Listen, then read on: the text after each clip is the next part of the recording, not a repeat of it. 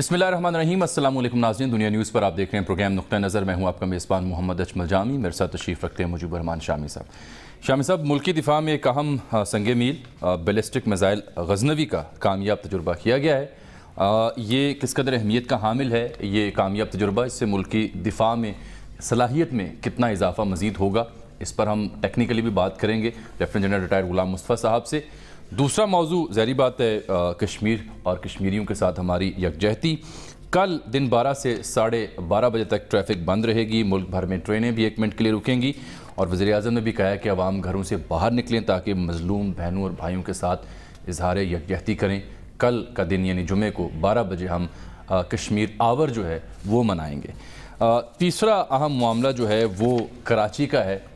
کیونکہ کراچی کو ہم بار بار ڈسکس کر رہے ہیں، ایک بار پھر سے بارشوں کا خدشہ ہے، تو ایک سیلابی صورتحال پیدا ہو سکتی ہے، لیکن شامی صاحب، کراچی، بارش، سیوریج فلڈز بیماریاں، اس کے ساتھ ساتھ مکھیاں، یہ سب کچھ اب کراچی سے نکل کر، کراچی کی کچرا سیاست سے نکل کر نیو یارک ٹائمز کی شہ سرخیوں میں بھی جا پہنچا ہے، کراچی کا مسئلہ۔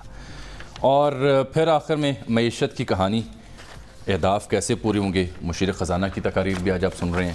تو یہ چار اہم موضوعات ہیں۔ جنرل غلام مصطفیٰ صاحب آتے ہیں تو پھر میرے خیال بلسٹک میزائل کا ایشو ہم ڈسکس کریں گے۔ سب سے پہلے میں چاہ رہا ہوں کہ ذرا ہم اکانومی کی بات کر لیں کیونکہ یہ بہت ضروری ہے۔ اس میں آپ یہ دیکھیے کہ حفیظ شیخ صاحب قرضوں پر جو تنقید کی جا رہی ہے، اسے وہ مسترد کر رہے ہیں کہ یہ آپ چیک کریں کہ یہ قرضے کیوں لیے گئے۔ کیا یہ حکومتی معاملہ چلانے کے لیے قرضے لیے گئے ہیں یا اکانومی ٹھیک کرنے کے لیے لیے گئے ہیں؟ اور وہ پر امید ہیں کہ معاملہ ٹھیک ہو جائیں گے۔ آپ بھی ان کی تقریر سنی اور کل کامران خان صاحب نے پورا تفصیلی چنگ کیا۔ انہوں نے تو ایک معیشت کے اوپر ایس او ایس جاری کر دیا ہے۔ تو آپ کیسے سم اپ کرتے ہیں جہاں ہم آج کھڑے ہیں اکانومی کے اعتبار سے؟ مشکلات تو بہت ہیں۔ اور ابھی دیکھیں جولائی کی جو فگرز آئی تھی اس میں یہ تھا کہ فوراً جو کرنسی ہمارے ذخائر تھے اس میں کچھ اضافہ ہوا تھا۔ یعنی جولائی میں جو کرنٹ اکاؤنٹ ڈیفیسٹ ہے وہ کم ہوا۔ اور امپورٹس جو تھیں وہ قدرے ان میں کمی ہوئی۔ اور برآمدات میں کچھ اضافہ ہوا۔ بحیثیت مجموعی پچھلے سال جولائی کے مقابلے میں بہت افاقہ نظر آیا۔ اور کرنٹ اکاؤنٹ ڈیفیسٹ میں کمی واقع ہو گئی۔ اس سے ایک بڑی تسلی ہوئی اور حکومت کے جو حلقے ہیں ان میں بھی ایک بڑا اطمینان کی لہر دوڑی۔ لیکن جو فسکل ڈیفیسٹ ہے جو مالیاتی ڈیفیسٹ ہے مالیاتی خسارہ۔ خسارہ ہاں۔ وہ پورا وہ بڑھتا جا رہا ہے۔ اور کم نہیں ہو رہا بلکہ کم نہیں ہو رہا وہ بڑھ رہا ہے۔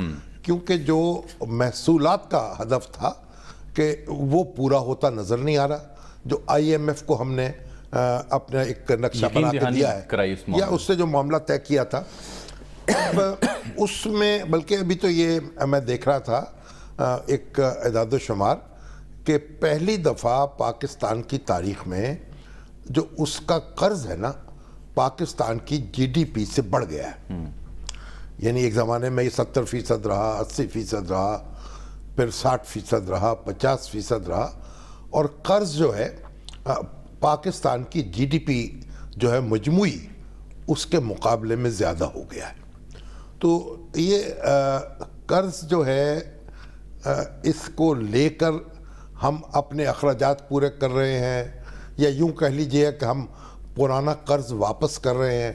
نہیں وہ تو حفیظ شیخ صاحب کہتے ہیں کہ چھہتر سو ارب روپے کے قرض جو ہیں اس پر تنقید جس اینگل سے کی جاتی ہے وہ درست نہیں کیونکہ آپ یہ دیکھیں کہ کیا یہ چھہتر سو ارب حکومت نے اپنے اخراجات کے لیے اٹھایا یہ قرض؟ نہیں دیکھیے یہ بات ان کی درست ہے لیکن جو حکومتی اقدامات ہیں اس کے نتیجے میں گروتھ ریٹ متاثر ہوا ہے۔ ہاں یہ دو ہے۔ اور آئندہ تین سال بھی پروڈکشن یہ کم رہے گا۔ اور اس وقت جو ریونیو ٹارگٹ ہے وہ پورا ہوتا نظر نہیں آ رہا۔ ساڑھے پانچ ہزار ارب روپے کٹھے کرنے ہیں۔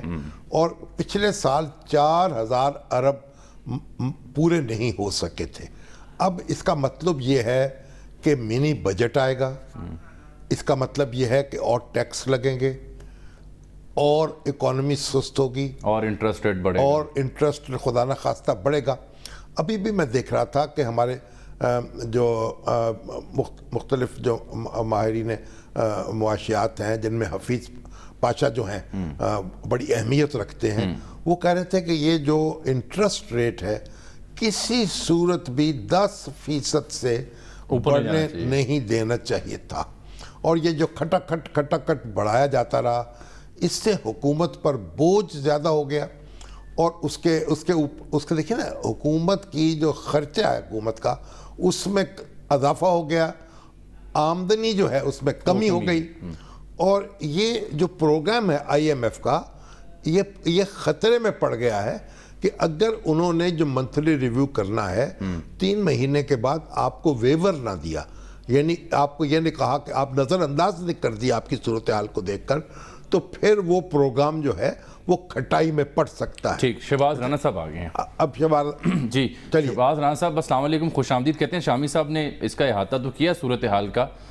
شہباز رانا صاحب شہباز رانا صاحب ظاہر ہے۔ میں سے ایک ہے جو ملکی معیشت پر اکانومی پر گہری نظر رکھتے ہیں اور اس پر تبصرہ بھی کرتے ہیں ساتھ ساتھ لکھنے کے علاوہ۔ جو اخبار نویس ہے نا ماشاءاللہ ہمارے اور میڈیا پرسنز اللہ ماشاءاللہ اس میں چند لوگ ایسے ہیں جو کوئی معاشی معاملات کو سمجھتے ہیں۔ ہاں لیکن اس کا اقرار کرنے کو تیار نہیں ہوتے تبصرے ماشاءاللہ کرتے چلے جاتے ہیں۔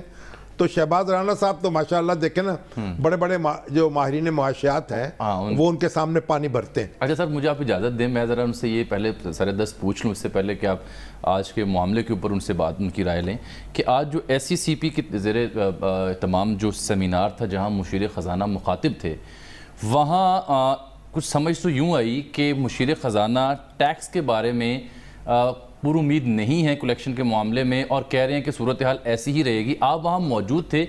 ایگزیکٹلی وہ کہہ کیا رہے تھے؟ شہباز صاحب ایک ایسا تاثر بھی ہوا ہاں۔ کہ وہ بڑی تنقید کر رہے ہیں ایف بی آر پر۔ ہاں اور یہ بھی بات آئی سامنے کہ ڈالر جو ہے وہ بھی ایسے اس کے استحکام کی بات کرنے سے بھی وہ گریز کر رہے ہیں۔ تو آپ کا کیا تاثر ہے؟ یعنی کیا تقریر میں وہ کہہ رہے تھے؟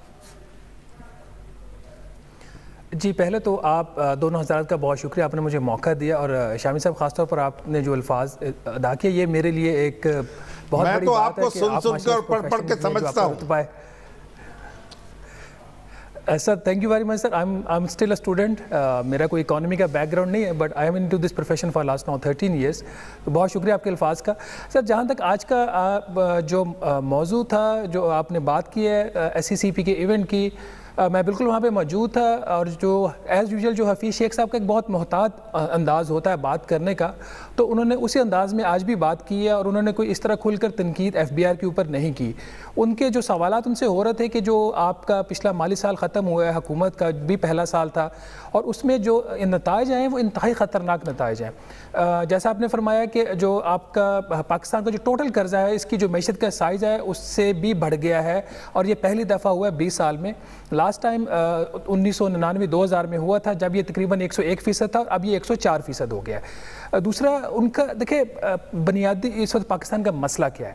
مسئلہ یہ ہے کہ آپ کے اخراجات ہیں، اس میں کسی بھی طریقے پہ آپ کنٹرول نہیں کر پا رہے، سوائے جو آپ کا ایک ترقیاتی بجٹ ہے، اس پہ بڑے آرام سے آپ کٹ لگا دیتے ہیں۔ اس کے علاوہ کسی بھی خرچے کے اوپر حکومت کا کوئی کنٹرول نہیں ہے۔ گاڑیاں بیچنے سے یا افسران جو ہیں، ان کی چائے اور اخبار بند کرنے سے آپ کے ملک کے معاملات حل نہیں ہوتے۔ جو یہاں پہ بنیادی پرابلم ہے، جو آپ کا قرضوں میں اضافہ ہوا ہے اس اور جو بجٹ ڈیفیسٹ میں بھی جس کی وجہ سے اضافہ ہوا وہ حکومت کی دو جو بنیادی پالیسیز تھیں، چاہے اس کا بلیم آئی ایم ایف کو دیں یا حکومت کو دیں، وہ تھی اس میں بنیادی ایک جو چیز تھی کہ جو شرح سود میں اضافہ کیا گیا، جیسے ڈاکٹر پاشا صاحب نے بتایا، اس میں جو بنیادی اصول یہ ہوتا ہے کہ آپ کی جو مہنگائی کی جو کور انفلیشن ہوتی ہے، اس کا جو ریٹ ہے، اس سے آن این ایوریج دو فیصد شرح سود زیادہ ہونی چاہیے۔ تو جولائی میں جو انفلیشن کور انفلیشن کا نمبر تھا، وہ سات اشاریہ آٹھ فیصد تھا۔ تو اسی کو ذہن میں رکھ کے ڈاکٹر پاشا صاحب نے کہا کہ یہ دس فیصد ہونا چاہیے تھا۔ اب انہوں نے کر دیا تیرہ اشاریہ دو پانچ فیصد۔ اس کا مطلب یہ ہے جو کیلکولیشن ڈاکٹر وقار مسعود صاحب، جو سابق سیکریٹری خزانہ انہوں نے کی، جو نیٹ امپیکٹ اس کا اوپر آئے گا قرضوں کے سٹاک کے اوپر، وہ سات سو پچیس ارب روپے کے اضافی سود کی ادائیگیاں ہوں گی آپ کی۔ ایک نمبر ٹو جو انہوں نے کرنسی کی ڈیویلیویشن کی، ہمیں ہم سب اس بات پہ ہمارا غالباً ایک اتفاق تھا کہ کرنسی کی جو ویلیو اساق ڈار صاحب کے ٹائم پہ تھی، وہ غالباً وہ صحیح نہیں تھی، اس وقت ایک سو پانچ روپے کے اوپر تھی، تو یا ایک سو پندرہ تک چلی جاتی، ایک سو بیس تک چلی جاتی۔ ابھی بھی جو آپ اکانومکس کے ساتھ بیٹھتے ہیں تو وہ بات کرتے ہیں۔ وہ یہ کہتے ہیں کہ ابھی بھی اس کی جو ویلیو ایک سو چالیس کے اراؤنڈ ہونی چاہیے تھی۔ اب یہ ویلیو میں سڈنلی آپ نے روپے کی قدر میں چونتیس فیصد ایک سال میں کمی کر دی۔ اس کا آپ کو نقصان کیا ہو اس کا نقصان یہ ہو کہ کرنسی ڈی ویلیویشن کی وجہ سے سے قرضوں میں تقریباً تین ہزار ارب روپے کا اضافہ ہوا ہے۔ اب آپ اس کو کہیں جی کہ کس کا ذمہ داری تھی؟ حکومت کہہ رہی ہے جی اس ان نمبرز کو دیکھیں۔ At the end of the day یہ جو پالیسیاں ہیں، یہ پاکستان تحریک انصاف کی حکومت کی ہیں۔ آج جب ہم یہ بات کرتے ہیں کہ پی ایم ایل این کی حکومت میں دس ہزار چھ سو ارب روپے کا قرضوں میں اضافہ ہوا تھا، تو ساتھ کو یہ نہیں آپ کو بتاتا کہ اس وقت شرح سود کی وجہ سے کتنا ہوا تھا اور کرنسی کی قدر میں کمی کی وجہ سے کتنا ہوا تھا۔ At the end of the day ہم بات یہ کرتے ہیں کہ آپ نے اسٹاک میں اضافہ کیا۔ اب اوورال جو سینیریو اس وقت جو بن رہا ہے جو آپ نے بات کی ہے تنقید کی ایف بی آر کے اوپر کوئی تنقید وہاں پہ نہیں ہوئی آج۔ ان کا اچھا۔ انہوں نے یہ بات اس بات کا ضرور اقرار کیا کہ جو پانچ ہزار پانچ سو ارب روپے کا جو ہدف ہے یہ انتہائی مشکل ہدف ہے۔ اور انہوں نے اپنے محتاط انداز میں اس کو کہا کہ بالکل یہ چیلنج ہے اور اسی کو حل کرنے کی ہم کوشش کر رہے ہیں اور اس میں ایڈمنسٹریٹو اور پالیسی ریفارمز اور ایکشنز ہم لے رہے ہیں۔ تو غالباً اس ایونٹ کی جو رپورٹنگ ہوئی ہے وہ پراپرلی نہیں ہوئی۔ اس کی وجہ یہ تھی یہ ساری ایک آف دا ریکارڈ ڈسکشن تھی اور اپنی پرفارمنس کی بات کر رہے تھے ایف بی آر کی طرف انگلی نہیں اٹھا رہے تھے۔ مگر شہباز صاحب یہ بتائیے کہ آپ کیسے دیکھتے ہیں؟ ہمارے تو ہاتھ پاؤں پھول جاتے ہیں۔ جب مستقبل پر نظر کرتے ہیں کہ کیسے یہ فسکل ڈیفیسٹ پہ قابو کیسے پایا جائے گا اور پھر کتنی مہنگائی اور آئے گی کتنا کوئی منی بجٹ آئیں گے آئی ایم ایف کا پروگرام بیچ میں رہ جائے گا پھر عدم استحکام پیدا ہوگا۔ یہ سارے خدشات جو ہیں وہ سر اٹھاتے ہیں۔ شامی صاحب یہ سارے خدشات درست ہیں۔ اس کی بنیادی دو تین وجوہات ہیں۔ نمبر ون ہسٹوریکلی ہم جو بجٹ کا جو خسارہ ہوتا تھا اس کا نمبر دیکھتے تھے وہ پانچ چھ سات آٹھ فیصد جتنا بھی ہوتا تھا پچھلا سال ہم نے آٹھ اشاریہ نو فیصد کے اوپر ختم کیا۔ آئی ایم ایف کا جو پروگرام ہے اس کے اوپر ایک بنیادی تبدیلی لے آیا ہے۔ وہ تبدیلی یہ ہے آئی ایم ایف کہہ رہا ہے کہ میں نے پاکستان کا جو پرائمری بجٹ خسارہ ہے وہ دیکھنا ہے۔ پرائمری بجٹ خسارہ وہ ہوتا ہے جب قرضوں کے اوپر سود کی ادائیگیوں کا مائنس کر دیتے ہیں اور باقی جو بچتا ہے۔ اب اس کا مطلب یہ ہے کہ اگر ہم پانچ ہزار پانچ سو ارب ارب روپے اکٹھے کر بھی لیں اور قرضوں کے اوپر ہم سود کی صرف ادائیگیوں کے اوپر چار ہزار ارب روپے ادا بھی کر دیں تو آئی ایم ایف کو اس کے اوپر کوئی تکلیف نہیں ہے۔ اس کی وجہ سے اگر آپ کا بجٹ ڈیفیسٹ جو ہے وہ اس سال گیارہ فیصد یا دس فیصد بھی ہو جائے تو آئی ایم ایف کو پھر بھی کوئی تکلیف نہیں ہے۔ شرط انہوں نے یہ لگا دی ہے کہ پرائمری بجٹ خسارہ جو ہے وہ آپ کا اس سال غالباً دو سو ساٹھ ارب روپے سے زیادہ نہیں ہونا چاہیے۔ اس کا نقصان کیا ہوگا؟ اور جو آپ کو امپلیکیشن اب نظر آئیں گی اس سال میں آپ کی گروتھ کے اوپر بھی۔ وہ یہ ہوگا کہ حکومت کی اب ساری کوشش ہے کہ قرضوں کے اوپر تو جو بھی پیسہ جا رہا ہے سود کی ادائیگی کے اوپر وہ جائے۔ دفاع کی جو ضروریات ہے وہ تو وہ پوری سمہون کو کرنے پڑی پڑ رہی ہیں اس کے آپشن نہیں ہے۔ اس کے علاوہ سرکار میں اس وقت خرچوں کی ہر چیز تقریباً رک گئی ہے۔ سب سے بڑا اس کا جو نقصان ہوگا وہ ترقیاتی بجٹ کا ہوگا۔ ایک حد سے زیادہ یہ نہیں کر سکتے پبلک سیکٹر میں ایکسپینڈیچر نہیں ہوگا۔ حکومت پبلک سیکٹر اپنا خرچ نہیں کرے گی تو اکانومی مزید سلو ہوگی۔ سر یہ پنجاب میں دیکھ لیں۔ اور انویسٹمنٹ ہو نہیں رہی۔ یہاں پہ نصف سے بھی کم رہ گیا ترقیاتی بجٹ جو ہے۔ تو اس کے اس کا اس کا امپیکٹ جو ہے اور منفی ہوگا۔ بالکل سر، اب یہی وجہ، ہمیں اسی وجہ سے آگے کوئی چیز ہوتی نظر نہیں آ رہی۔ اور پرابلم یہ ہے کہ پچھلے سال بھی اگر آپ دیکھتے ہیں نا ایف پی آر نے کوئی پانچ سو ستر ارب کا تاریخی اس کو شارٹ فال ہوا تھا۔ یہ اس کے باوجود تھا کہ پی ایم ایل این کی حکومت نے بھی ٹیکسز لگائے تھے اپنی آخری بجٹ میں، غالباً دو سو ارب روپے کے قریب ان کے بھی دو منی بجٹ لے کے آئی تھی پی ٹی آئی اس میں بھی کوئی دو ڈھائی سو ارب روپے کے ٹوٹل ٹیکسز لگے تھے۔ چار ساڑھے چار سو ارب روپے کے اضافی ٹیکسز کے باوجود جو پی ٹی آئی کی حکومت نے پہلے سال ٹیکس اکٹھا کیا وہ پی ایم ایل این کی حکومت سے ایک فیصد کم تھا۔ انہوں نے تین ہزار آٹھ سو بیالیس ارب کیا انہوں نے تین ہزار آٹھ سو انتیس ارب روپے کیا۔ تو یہی صورتحال وہیں پہ آج کھڑی ہوئی ہے۔ مگر شہباز صاحب جو بھی اس کی جسٹیفیکیشن یعنی کوئی کوئی کوئی آپ کی ذہن میں کیا آتا ہے کہ کیا ایسا اقدام ہونا چاہیے یا کیا ایسے فیصلے ہونے چاہیے جس سے کوئی کرن پیدا ہونا امید کی یہ بھی تو بات ہونی چاہیے نا کہ ہم پرابلم کو تو ایڈنٹیفائی کر رہے ہیں لیکن ساتھ ساتھ کوئی سلوشن بھی ہاں۔ دیا جاتا ہے کہ اگر حکومت سن رہی ہے کوئی لوگ اصل میں ہمارے زمانے میں نا ہاں۔ یہ جدید سائنس سے پہلے طب مشرق جو تھی نا ہاں۔ اس میں تشخیص کرنے والے حکیم الگ ہوتے تھے نسخہ لکھنے والے حکیم الگ ہوتے تھے۔ اچھا ایک کے پاس شعبہ نہیں تھا یہ؟ یعنی ایسا ہوتا تھا۔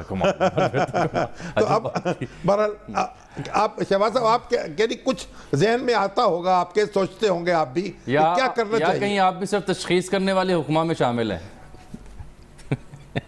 نہیں میں بھی ان اس کیٹیگری میں فال کرتا ہوں جس میں دو لوگ ہیں اس میں ہوتے ہیں اس میں سینئر آپ ہیں آپ بتائیں گے لیکن میرا اس پہ جو لٹل بٹ ہے تھوڑا سا ہے جو حکومت کے پاس اس وقت جو ہے وہ فزیکل سپیس بالکل بھی نہیں ہے۔ ہم نے انتالیس ماہ کے لیے اپنے آپ کو باؤنڈ کر دیا آئی ایم ایف کے پروگرام کے اندر۔ ہمارے اوپر کوارٹرلی ٹارگیٹس لگ گئے ہیں۔ اگلے ایک دو دن میں آپ کو ایک اور خوشخبری ملے گی بجلی کی قیمتوں میں اضافے کی۔ یہ اس کے علاوہ ہے جو ماہانہ فیول ایڈجسٹمنٹ ہوتی ہے۔ مزید اضافہ۔ ہر چیز کے اوپر ہمارے اوپر ٹارگیٹس لگے ہوئے ہیں۔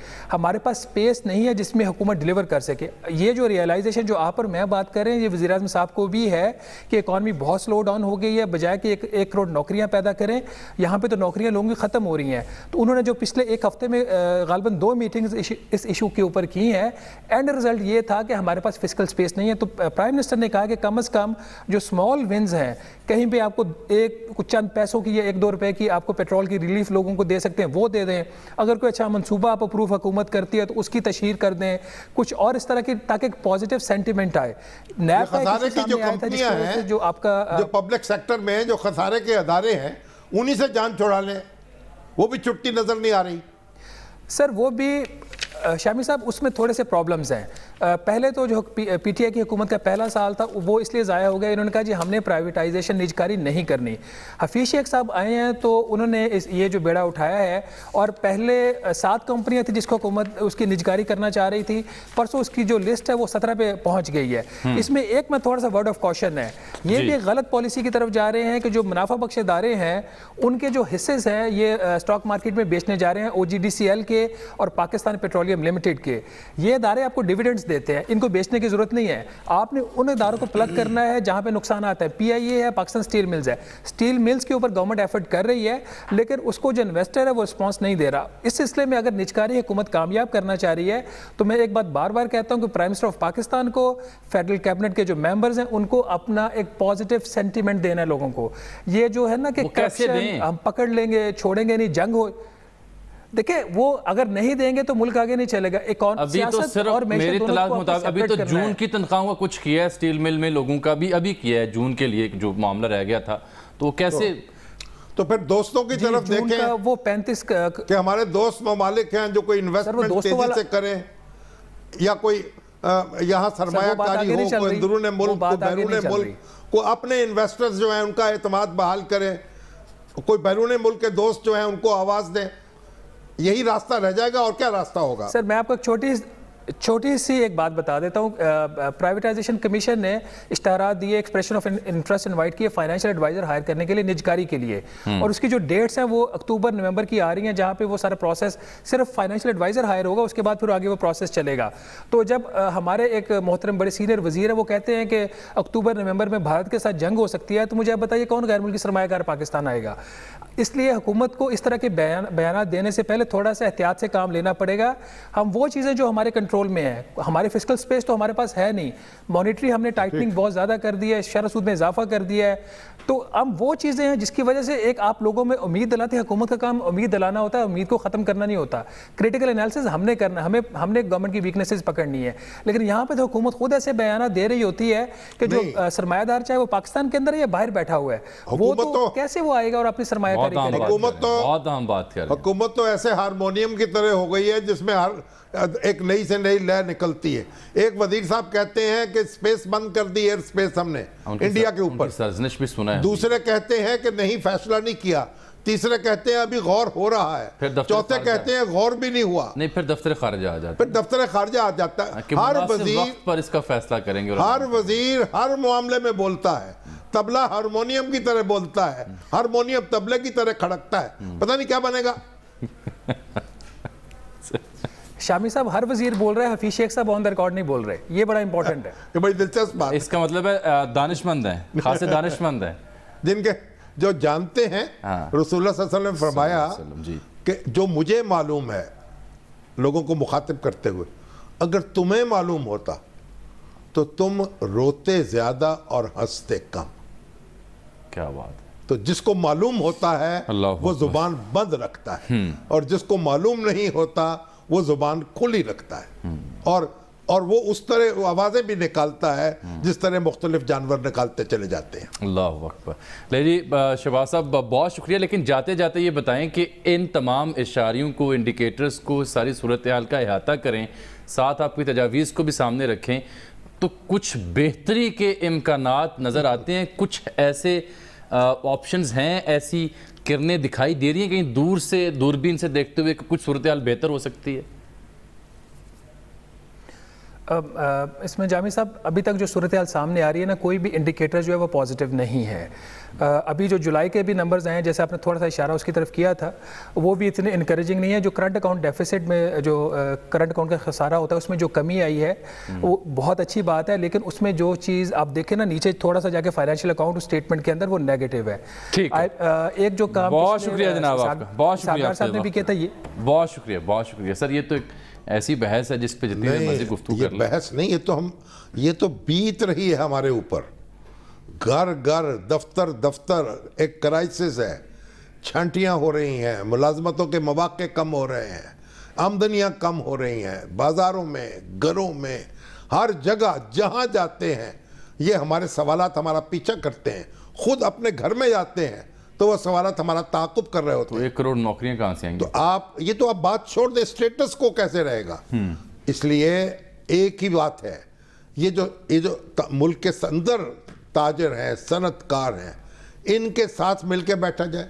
جو ملک کے اندر سیاسی عناصر ہے سیاسی قیادت ہے وہ مل کے بیٹھے۔ اور جو دوست ممالک ہیں ان کو اعتماد میں لیا جائے۔ آخر وہ بھی انویسٹ ابھی چائنا کے ساتھ معاملہ ہو رہا تھا انویسٹ ساری رک گئی ہے سی پیک کا بھی اب اب نئے سرے سے شروع ہوا ہے۔ تو آپ کو ایک انقلابی طور پر کام کرنا ہوگا اور بمبوڑنے کے لیے اور سرکاری محکمے جو شخص ایک روپیہ بھی لگانا چاہتا ہے ہاں۔ اس سے ایک سو روپیہ وصول کرنا چاہتے ہیں۔ چلیں اچھی خبر بھی آپ پیش کرتے ہیں یہ تو ایک نہیں یہ خبر نہیں اچھی بری کی بات نہیں ہے۔ ہاں۔ حقیقت جو ہے نہیں وہ اس کو آپ دیکھیں۔ ایک واقعی اچھی خبر جس کا میں نے پروگرام کے وہ کیا؟ وہ میزائل؟ Missile missile? میزائل بڑی اچھی بات ہے۔ غزنوی کامیاب تجربہ اور یہ دو سو نوے کلومیٹر تک اپنے ہدف کو کامیابی سے نشانہ بنانے کی صلاحیت رکھتا ہے۔ اچھا اور یہ تو مجھے ویسے تو بڑی اچھی بات ہے میں بڑا خوش ہوں۔ پاکستان کی طاقت میں جو بھی اضافہ ہوتا ہے جی۔ لیکن اس میں مجھے ایک شعر بھی یاد آتا ہے۔ وہ کیا؟ تمناؤں میں الجھایا گیا ہوں کھلونے دیکھ کے بہلایا گیا اللہ اکبر لیکن یہ کھلونے ضروری تو ہیں یہ کھلونے ضروری ہیں صرف کھلونے ہی ضروری اگر یہ نہ ہوں اگر گھر میں کچھ اگر گھر میں کچھ ہوگا نہیں ہاں۔ تو پھر حفاظت کس کی کی جائے گی؟ فی الحال تو یہ ہے نا۔ رہا کھٹکا نہ چوری کا۔ کی وجہ سے دعا دیتا ہوں راسن کو۔ نیند تو کیسے اڑی ہوئی ہے۔ چلیں اب lieutenant general retire Ghulam Mustafa صاحب ٹیلی فون لائن پر تشریف رکھتے ہیں۔ ان سے بات کر لیتے ہیں کہ یہ کتنا امپورٹنٹ یہ تجربہ تھا پاکستان کے سائنسدانوں کی جانب سے اور ملکی دفاع میں کیا صلاحیت مزید اس میں اضافہ ہوگی؟ السلام علیکم سر۔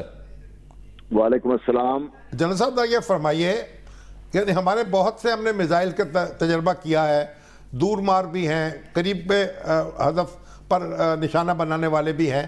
تو یہ جو تازہ تجربہ ہے اس نے کیسے ہماری دفاعی صلاحیت میں اضافہ کیا ہے؟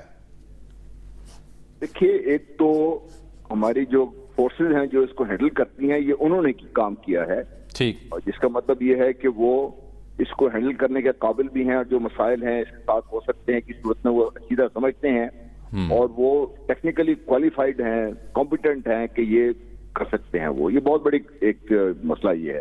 ٹھیک۔ دوسرا یہ رات کو کیا گیا ہے تجربہ اور اس سے ہاں۔ پہلے آج تک جو بھی تجربات ہوئے ہیں وہ دن کو کیے گئے ہیں۔ مطلب کہنے کا یہ ہے کہ اگر ضرورت پڑے گی خدا خاصہ اللہ نہ کر ایسا وقت آئے تو پاکستان کی افواج اپنے عوام کی مدد سے یہ صلاحیت رکھتی ہیں کہ اتنے جو ہتھیار ہیں پاکستان کو اللہ تعالیٰ نے دیے ان کو جس وقت جہاں چاہیں کیسے چاہیں چلا سکتے اور تیسری جو بڑی اہم چیز یہ ہے بھارت سے بڑی عجیب قسم کی آوازیں اٹھ رہی ہیں۔ جی جی۔ آپ دیکھیے سبرامنم سوانی ہم وہ کہہ رہے ہیں جی کہ یہ پاکستان ٹکوسلا ہے پاکستان کے پاس ہے کچھ نہیں ہے کھلونے ہیں۔ تو یہ ان کو بھی ایک بات سمجھانے کی ہے کہ کھلونے نہیں ہیں۔ یہ وہ جو ان کا خیال یہ ہے کہ جو ان کے چیف انہوں نے بنایا ہوا ہے جی کہ ہم ایک خاص قسم سے اپنی بڑی آمد فورس تیار رکھیں گے اچانک پاکستان پہ حملہ کر دیں گے۔ تو یہ جہاں سے حملہ کرنے کی صلاحیت شروع ہوتی ہے یہ وہاں تک مار کر سکتا ہے میزائل اچھا اور نام آپ دیکھ لیں کہ غزمی نام ہے تو نام کی مناسبت سے بھی بھارت کو سمجھنا چاہیے کہ نام سومنات تو ویسے ہی ہل رہا ہوگا۔ جی جی جتنا سترہ حملے ہوئے تھے تو یہ بھی بندہ بار بار حملہ کرنے کی صلاحیت رکھتے ہیں۔ اس سے تو بہت سارے ایسے اہداف ہیں جو حاصل ہوئے ہیں صاحب یہ جو اس میں کہا گیا ڈیٹیل میں کہ سات سو کے جی وار ہیڈ لے جانے کی صلاحیت رکھتا ہے وار ہیڈ سے مراد ہم کسی سمجھیں کہ ہر قسم کا وار ہیڈ چاہے وہ نارمل ہے یا ایکسکلوسیو ہے۔ جی جی ہر قسم کا وار ہیڈ لے کے جانے کی صلاحیت رکھتا ہے۔ مطلب اس کا جو پے لوڈ لے جا سکے سات سو کلو میٹر کے جی کا ہے اس میں آپ نیوکلر چاہیں وہ ڈال دیں اس میں آپ کنونشنل وار ہیڈ چاہیں وہ ڈال دیں وہ سب کچھ اس میں ڈالا جا سکتا ہے۔ لیکن جب اتنا آپ ایفرٹ کر رہے ہیں تو پھر وہ کنونشنل جو ہے وار ہیڈ میں کنونشنل امونیشن لے جانے کی کچھ زیادہ پھر اس کو سینس نہیں بنتی۔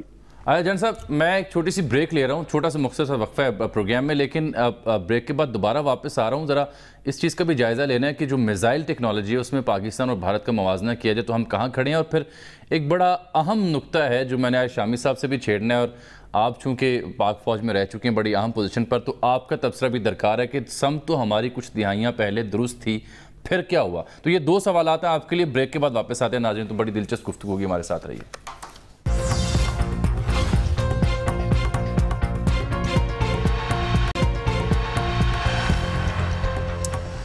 ویلکم بیک ناظرین۔ پاکستان کا بیلسٹک میزائل غزنوی کا کامیاب تجربہ۔ دو سو نوے کلو میٹر تک یہ اپنے ہدف کو کامیابی سے نشانہ بنا سکتا ہے۔ اور غلام مصطفیٰ صاحب فرما رہے تھے، بریک سے پہلے کہ یہ ان تمام جگہوں کو ٹارگٹ کر سکتا ہے جہاں سے دشمن حملے کا سوچے گا۔ تو جناب صاحب، سوال یہ میں نے چھوڑا تھا آپ کے لیے بریک سے پہلے کہ اگر ہم جو میزائل ٹیکنالوجی ہے اور جو اس کی، اس میں جو صلاحیت ہے پاکستان یا بھارت کی، اس کا موازنہ کریں تو ہمارے اندر کئی مسائل ہو سکتے ہیں، کئی خامیاں، کمزوریاں ہو سکتی ہیں۔ لیکن اس ٹیکنالوجی میں، اس اس معاملے پہ ہم کہاں کھڑے ہیں؟ دیکھیں، یہ ایک خاص اللہ تعالیٰ کی پاکستان کے اوپر عنایت ہے۔ جی۔ جہاں باقی بہت ساری ہماری کمزوریاں ہیں۔ بالکل۔ دنیا کے جو سب سے ٹیکنیکل فیلڈ ہے اس میں پاکستان کو اللہ تعالیٰ نے بہت کامیابی عطا فرمائی ہے۔ الحمدللہ۔ پاکستان کا چونکہ کوئی ایسے جارحانہ عزائم نہیں ہے تو پاکستان نے اپنے دفاع میں سب کچھ کیا ہے اور اپنا جو دشمن ہے بھارت خاص طور پہ چونکہ اس نے ہی یہ نیوکلیر ہتھیار اس خطے میں لے کے آیا ٹیررزم لے کے آیا میزائل لے کے آیا۔ ان کو تو کئی سال لگے کرنے میں لیکن اللہ کا یہ فضل ہے کہ پاکستان کے جو بھی میزائل سسٹم ہیں وہ اپنی ضرورت کے مطابق جن جن اہداف کو ہٹ کرنے کی ضرورت ہے نہ صرف وہ ان کو ایک دفعہ ہٹ کر سکتے بلکہ بار بار ہٹ کر سکتے ہیں۔ اور جنرل ضیاء کی وہ بات جو انہوں نے راجیب سے کہی تھی کہ ہم تو شاید خدا نخواستہ مٹ جائیں۔ مسلمان ملک اور بہت سے لیکن بھارت صفا ہستی سے مٹ جائے گا ہندو ختم ہو جائیں گے یہاں سے۔ اللہ کو پاکستان نے یہ صلاحیت دی ہے۔ اور یہ بڑی بڑی خاص عنایت ہے پاکستان چلے الحمدللہ یہ تو اچھی خبر ہے جی۔ اوورال اطمینان کا باعث ہے۔ جنرل صاحب آپ ہمارے ساتھ ٹیلی فون لائن پر یہ گئے۔ ایک اور موضوع میں چھیڑنے لگا ہوں یہاں پر۔ ایک سوشل میڈیا پر army chief general Qamar Javed Bajwa صاحب کا ایک بیان ہے۔ وہ ملک کی صورتحال پر تبصرہ فرما رہے تھے اپنی لینس سے۔ تقریر کر رہے ہیں جی تو وہ بڑی اہم ان کی گفتگو ہے۔ کہ ہم ایک درست سمت میں ہمارا ملک گامزن تھا تو آئیے دیکھتے ہیں کہ وہ فرما کیا رہے ہیں پھر اس کے بعد ذرا سوال پوچھتے ہیں شامی صاحب سے بھی اور جنرل صاحب سے بھی دونوں نے تاریخ کو دیکھ رکھا ہے اپنے اپنے تئیں کہ پھر گڑبڑ کہاں ہوئی پہلے جنرل صاحب یہ سنیں گا آپ کو آواز آ رہی ہوگی ناظرین آپ بھی دیکھیے اور سنیے We are passing through very difficult times. Pakistan was not like this. Let me share with you my, my experience. I was born in 1959. I have seen the heydays of Pakistan. Let me share a few things with you. In 1962, PIA was the best airline in the world. PIA and Japan Airline were the two airlines in entire Asia flying a jet engine aircraft, 707. India, Taiwan, Singapore, they were all flying Dakotas. In 1964, we had our television. India got it in 78, 64. In 64, we had the electric train flying from Lahore to Saiwa. I have seen Pakistan heydays. You had the cinema halls full, you had mosques full as well. Best of the movies would be shown over here. You know, uh, the Beatles, they came to Karachi, they landed at Karachi. Jacqueline Kennedy traveled on PIA. President Lyndon B. Johnson came to Karachi on PIA. So that was the standard of this country.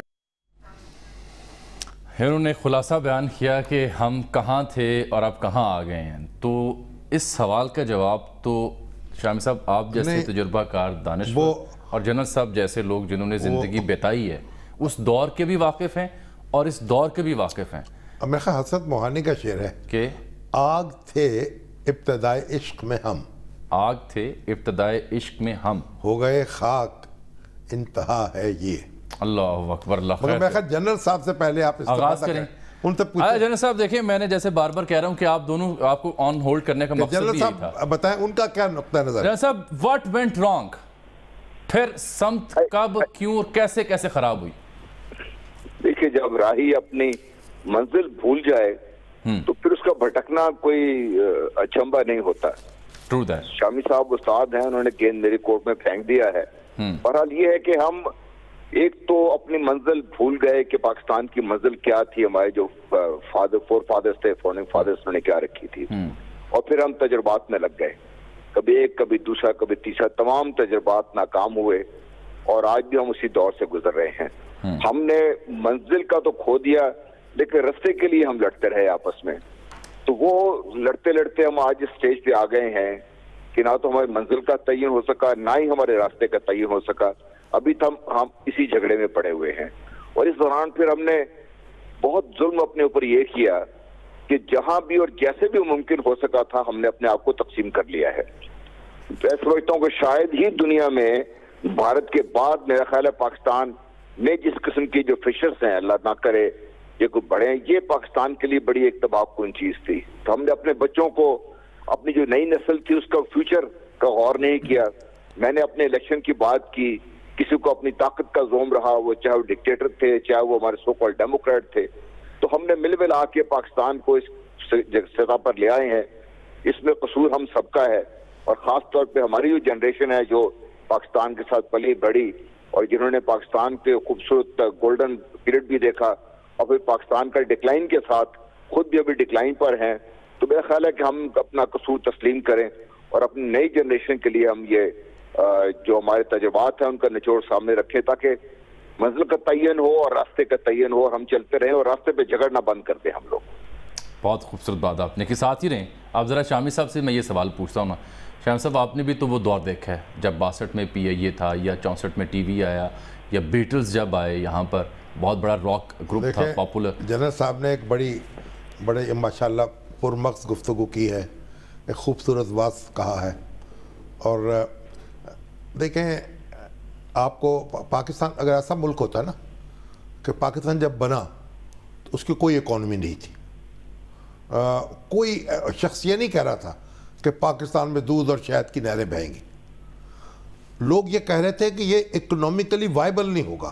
چل نہیں پائے گا۔ یہ چلے گا ہی نہیں۔ اس کے resources بہت کم ہیں۔ دشمنوں کو یہ خط ہمارے بارے اور یہ یہ ہمارے کانگریس کے لیڈر سمجھتے تھے کہ روتے ہوئے ہمارے پاس آئیں گے ہاتھ جوڑ کے۔ یہ اپنا ملک چلا ہی نہیں سکیں گے۔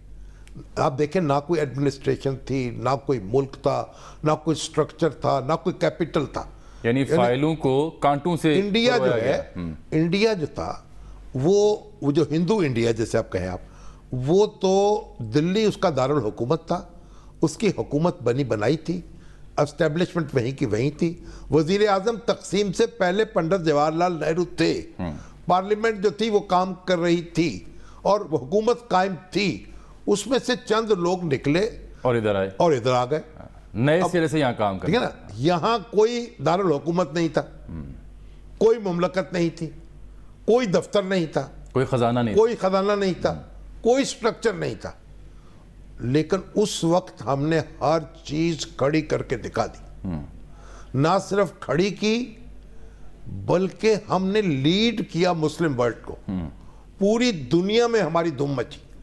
اور لوگ سمجھتے تھے کہ یہ کیسا ملک ہے۔ اسلامک ڈیموکریسی ایک ایسا معاملہ ایک ایسا معاشرہ وجود میں آیا ہے جو پورے عالم اسلام کے لیے ایک روشنی کی کرن ہے۔ اور پھر اس کے بعد ہم نے پھر ہم جو نیچے آئے ہیں جو ہم اپنے معاملات میں الجھے ہیں اب یہ جو ہمارے پیپرز انڈیا کے ابھی شائع نہیں ہوئے جیسے امریکہ امریکن پیپر تو آ جاتے ہیں نا۔ ہاں وہاں پر تو ایک خاص مدت اس کے بعد جتنی بھی پالیسیز کے یہ بھی ہمیں پتہ نہیں کتنی سازشیں ہمارے ساتھ ہوئی ہیں اور کیا کچھ ہوا۔ لیکن میری گزارش صرف یہ ہے کہ میں ایک بات آپ سے کہوں گا کہ اس ملک میں اولاً تو ماشاء اللہ لگنا ہی نہیں چاہیے تھا۔ صحیح۔ اٹھاون کا ماشاءاللہ جو لگا ملک اپنے رفتار پہ اسی سٹرکچر میں چلتا رہتا اٹھتے بیٹھتے دوڑتے بھاگتے گرتے پڑھتے پٹری پہ چلتا رہتا جس طرح انڈیا چلتا رہا۔ کوئی نظام بانی جاتا اسی نظام شیپ نکل ہی اسی نظام میں نکلا ہاں۔ اور فرض کیجیے اگر ایک بار لگ گیا تھا اور چینج کر دیا تھا سسٹم کو تو پھر ہٹنا نہیں چاہیے۔ پھر اس سے پیچھے ہٹنا نہیں چاہیے تھا۔ کانٹینیوٹی رہتی۔ پھر اس میں کانٹینیوٹی رہنی چاہیے۔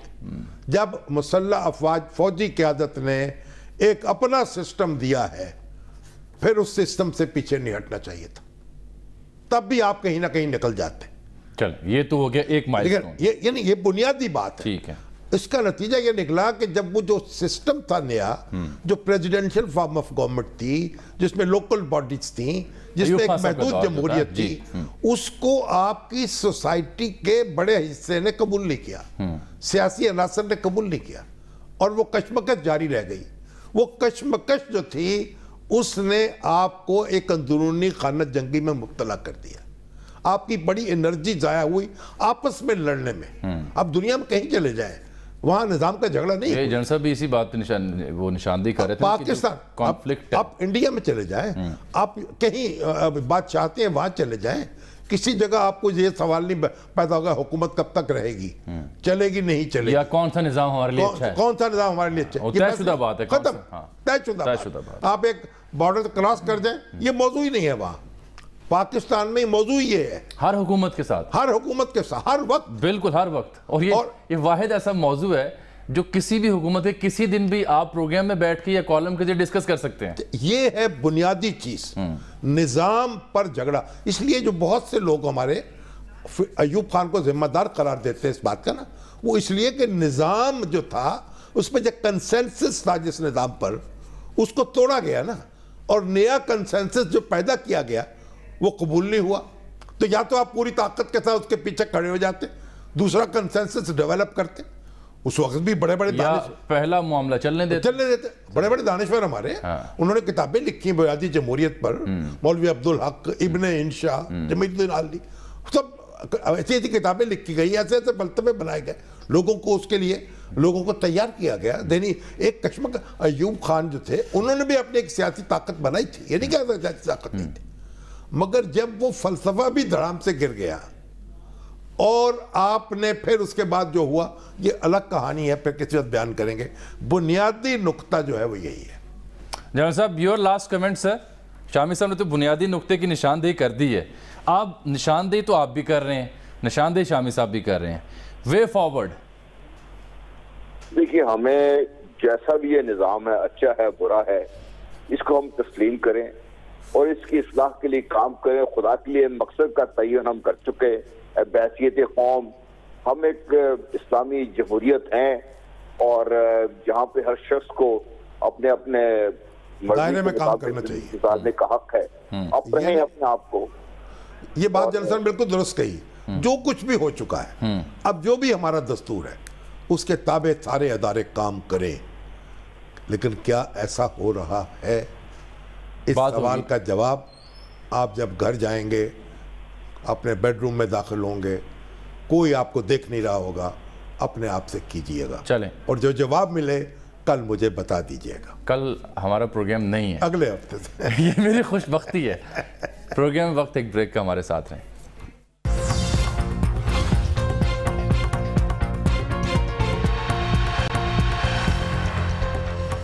ویلکم بیک ناظرین۔ کل کشمیریوں سے اظہار یکجہتی کا دن ہے۔ وزیراعظم صاحب نے اپنی تقریر میں بھی بتایا تھا۔ پھر دو عاشق عوان صاحبہ نے اس کے وقت کا بھی بتایا۔ دن بارہ سے ساڑھے بارہ تک ٹریفک بند رہے گی۔ ملک بھر میں ٹرینیں بھی ایک منٹ کی رکیں گی۔ شیخ رشید صاحب نے بتا دیا۔ اور اسلام آباد میں سگنل آدھے گھنٹے تک ریڈ رکھنے کا فیصلہ کیا گیا۔ وزیراعظم صاحب نے ٹویٹ کی اور کہا کہ عوام گھروں سے نکلیں اور اپنے مظلوم بہنوں اور بھائیوں کشمیریوں کے ساتھ اظہار مجھے امید ہے کہ پوری قوم نکلے گی۔ وزیر اعظم کو چاہیے کہ تمام جو سیاسی جماعتیں ہیں مذہبی رہنما ہیں سب کو بلائیں اپنے ساتھ کھڑا کریں اور ایک یکجہتی کا پیغام دیں۔ کئی لوگوں نے اس بات پر نشاندہی کی ہے کہ وقت جو تھا جمعے کے بعد مناسب ہوتا۔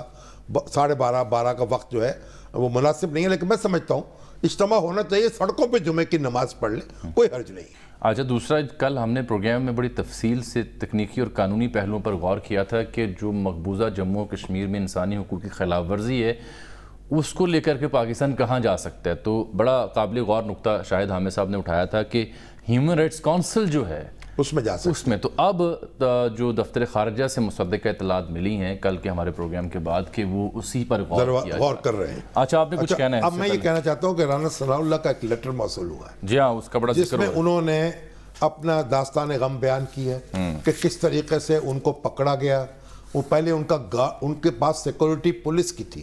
وہ پولیس کی سیکورٹی واپس لی وہاں آر پی او نے فیصلہ بات کے ان کے کسی دوست نے ان کو اطلاع دی کہ آپ کو پکڑنے کی تیاری ہو رہی ہے۔ پھر اس کو اس طریقے سے پکڑا گیا جس کی کوئی ویڈیو موجود نہیں ہے فوٹیج۔ اور پھر ان کو جس طرح قید میں رکھا گیا اور جس طرح آپ جج جتائے ان کے بدلا گیا اس جج کو۔ اور کل ہم نے بحث کی تھی یہ چھبیس تاریخ کا جو آرڈر تھا یہ جس پہ چھبیس تاریخ ڈلی ہوئی تھی۔ یہ جج صاحب کو اٹھائیس تاریخ کو موصول ہوا۔ اس سے پہلے نوٹیفکیشن ان کو کوئی وصول نہیں ہوا تھا۔ صحیح اور یہ میں نے کنفرم کیا ہے۔ اور اس میں چیف جسٹس سے پوچھے بغیر یہ معلوم ہوا ریجسٹرار ہاں۔ نے براہ راست جو نوٹیفکیشن تھا فیڈرل گورنمنٹ کا جاری کردہ وہ جج کو بھیج دیا۔ اور وہ اپنا وہ انہوں نے یہ کل بات ہوئی تھی نا ہمارے پروگرام میں۔ ہماری محترمہ ڈاکٹر صاحب نے کہا کہ وہ کیوں بزد تھے؟ وہ بزد نہیں تھے سماعت کرنے پر۔ ان کو واٹس ایپ پہ جو لیٹر موصول ہوا اگرچہ کہ ہمارے شاہ خاور جو ہیں انہوں نے کہا کہ ان کو پھر بھی یہ اس کو فالو نہیں کرنا چاہیے تھا کیونکہ وٹس ایپ کا میسج کوئی میسج نہیں ہوتا۔ میں فروغ نسیم صاحب کا ایک بیان سناؤں آپ کو؟ نہیں فروغ نسیم کا بیان وہی ہے جو جج صاحب چیف جسٹس سے وہ ملے ہیں۔ وہ نام نہیں لے رہے پہلے ایک بات نہیں نہیں چیف جسٹس سے ملے۔ چیف جسٹس ان سے ملے کشمیر ہاؤس میں۔ ہاں۔ اب ہونا یہ چاہیے تھا کہ chief justice Lahore High Court سے ملنا ہاں۔ کوئی جرم نہیں ہے۔ شاہد خاقان عباسی جو ہیں وہ ملے تھے چیف جسٹس پاکستان سے۔ ان کے پاس جا کے ان کو چاہیے تھا وہ لاہور ہائی کورٹ جاتے اور چیف جسٹس سے ملاقات کرتے دن دہاڑے اور اس کا اعلان ہوتا تاکہ پالیسی جس پہ وہ کہتے گفتگو کرنی تھی قانون سازی پر اور یہ کشمیر ہاؤس میں ملنا اس پر سوال اٹھے ہیں اور یہ پھر ہمارے چیف جسٹس صاحب جو ہیں وہ بڑے باوقار شخص ہیں، لیکن ان کو، ان کے اپنے ہائی کورٹ میں ملنا چاہیے تھا۔ سر، اب پروگرام کے وقت یہاں پر ختم ہوا چاہتا ہے۔ ناظرین سے ملاقات ہوگی اب اگلے پروگرام میں تب تک لیے اجازت دیجیے اللہ حافظ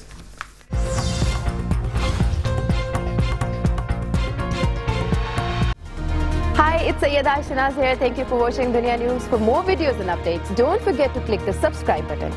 Keep watching Dunya News.